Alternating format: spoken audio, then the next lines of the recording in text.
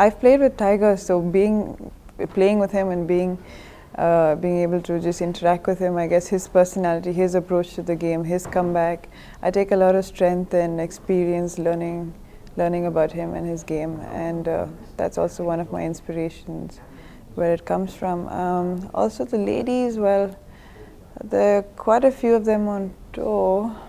Um, I mean, I have a lot of friends on tour who are also coming up.